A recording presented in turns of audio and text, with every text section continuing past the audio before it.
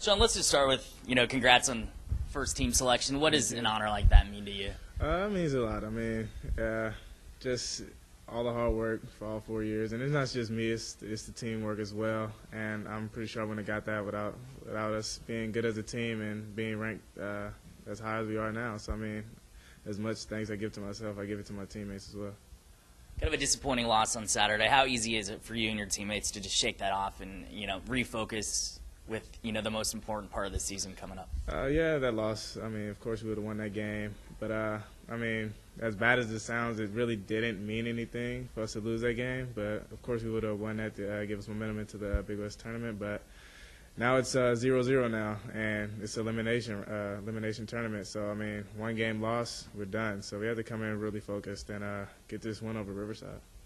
You know, you're a senior. Obviously, you've been in the tournament before. Uh, I mean, you try to, I don't know, give some advice to the younger guys, or kind of take an extra leadership role headed into you know this very important week. Well, like Coach always says, uh, every possession counts. I mean, we can't come into the game and just think like in the first the first half, just like stays with the ball per se. So, I mean, we just have to be very conscious with the ball, and every decision is important. So, I mean, every every possession counts. So we just have to go out there and try our best, and just you know try to try to take care of the ball.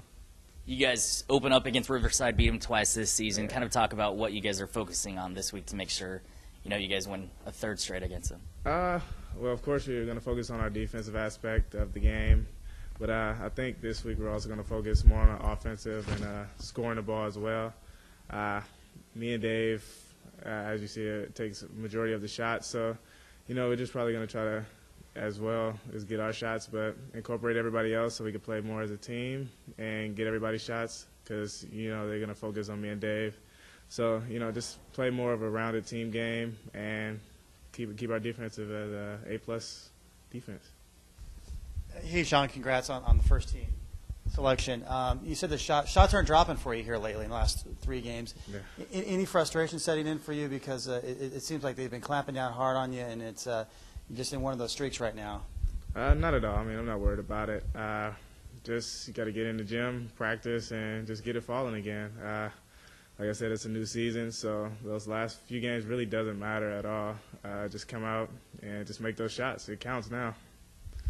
Do you feel like the defense has been, been picking up against you? I know you haven't been able to get to the rim um, as much as you like or at, all- at all the last few games. Yeah. Uh, they've been really, you know, tough on you. So uh, again, is it is just something you're going to have to adjust to here? Uh, yeah, it's definitely something I'm gonna have to adjust with. Uh, you know, just finding the other open man, uh, the man who comes to double team me. Uh, I mean, my teammate's gonna be open, and finding that, uh, getting it past that open man, as well as finding other ways uh, to score the ball. Uh, I'm pretty sure there's other ways for me to score the ball besides, you know, just getting it in my sweet spot.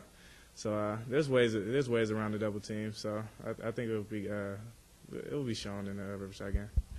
In terms of the, the team right now, um, you know, you guys are number two, but you've lost three of your last four games, so uh, those were all close games, we know. Yeah. Um, but it doesn't seem like the team's playing the best basketball of the season right now, heading into the tournament. Any, any concerns there?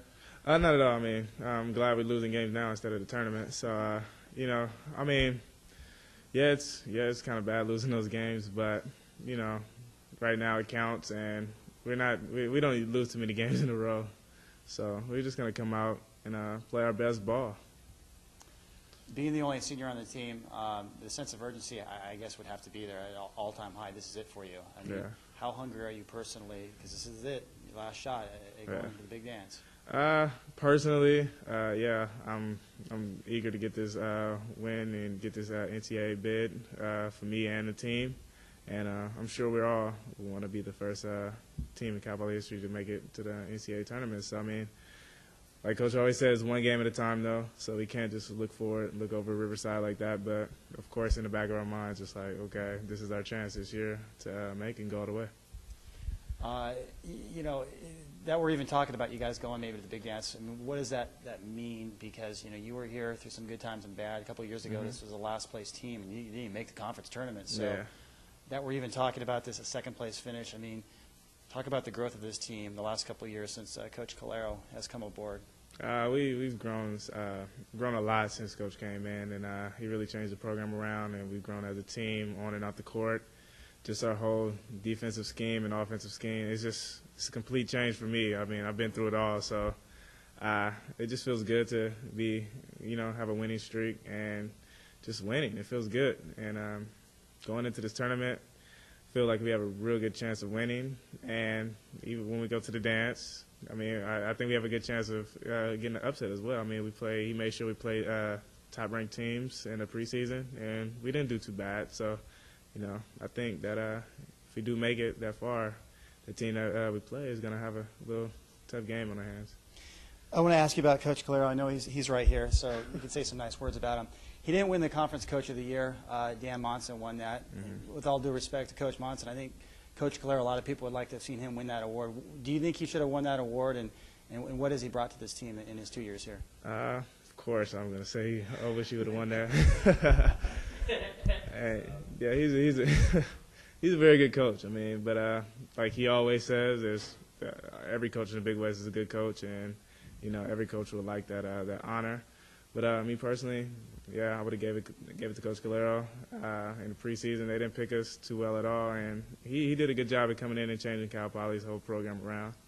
And uh, this, that's not that wasn't an easy thing to do. I mean, we had to make we made a lot of changes, and uh, he just got us on the right track and brought winning back to Cal Poly basketball. And lastly, just the, the, back to the tournament. I mean, how nice will it be? They're moving it to the Honda Center. Uh, you know, semifinals are going to be on ESPNU. It seems like it's a little bit more, a little more publicity this year for the Big West Yeah. tournament. Uh, I mean, how nice is it? It seems like th there's a lot more media interest, and uh, it seems like there's more national spotlight on this tournament this year. Yeah, it feels good to be in that spotlight. Uh, yes, the new the, the new arena. Uh, Coach told us uh, when he went down there in the preseason to go check it out. He said it's a very nice arena, and uh, it's just it's a new site. I mean, just to get out of Anaheim and go into some uh, another place is just new for everybody. Nobody has any upper advantage on being, going to the tournament more time playing in the gym more. So I mean, everything is new to everybody. Solid neutral court. So I mean, it's gonna be fun and interesting.